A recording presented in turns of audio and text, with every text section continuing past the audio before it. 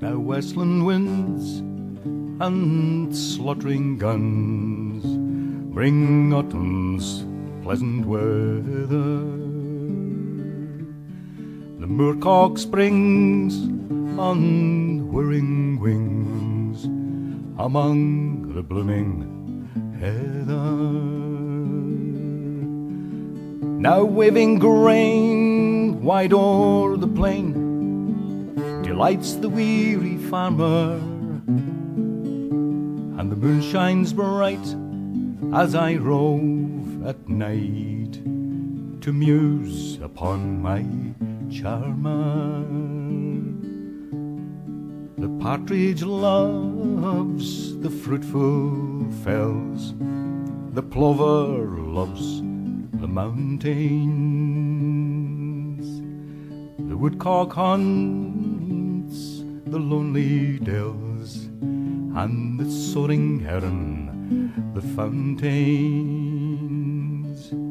Through lofty groves the cushat roves, the paths of man to shun it. The hazel bush o'erhangs a thrush, and the spreading thorn the linnet.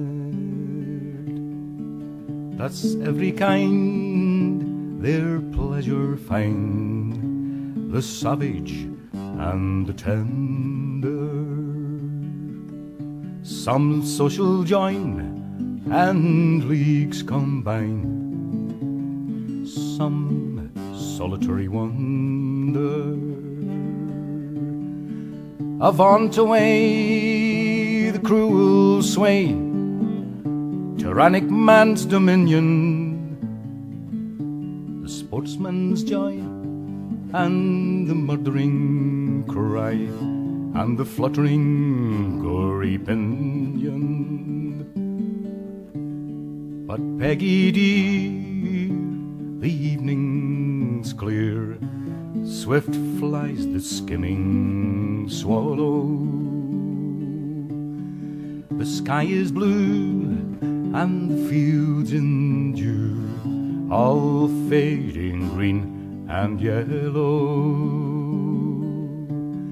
Come, let us stray our gladsome way and view the charms of nature.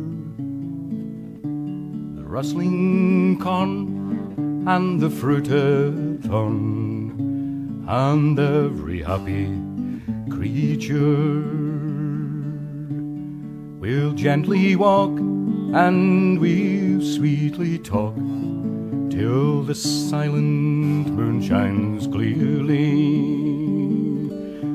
I'll clasp my waist and fondly pressed swear how I love thee dearly. Not vernal showers to budding flowers, not autumn to the farmer so dear can be